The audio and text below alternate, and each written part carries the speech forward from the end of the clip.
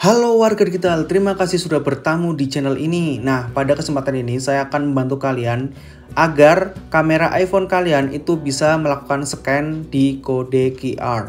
Nah, contohnya seperti ini, jika tidak diaktifkan fiturnya, maka iPhone kalian itu tidak bisa men-scan kode QR. Nah, untuk mengaktifkannya gimana kak? Langsung saja ke caranya. Pertama, silakan kalian buka pengaturan, kemudian kalian scroll ke bawah, cari pada ikon kamera. Nah, di sini ada kamera, kalian bisa klik. Kemudian pada pindai kode QR kalian bisa aktifkan. Kemudian kita bisa lanjut lagi ke kamera dan ketika kita men-scan maka akan muncul seperti ini, buka di Chrome. Kalian bisa klik dan akan muncul QR-nya seperti ini atau hasil dari QR-nya. Nah, seperti itu aja. Nah, jika kalian terbantu dengan video ini, mohon klik tombol like dan subscribe.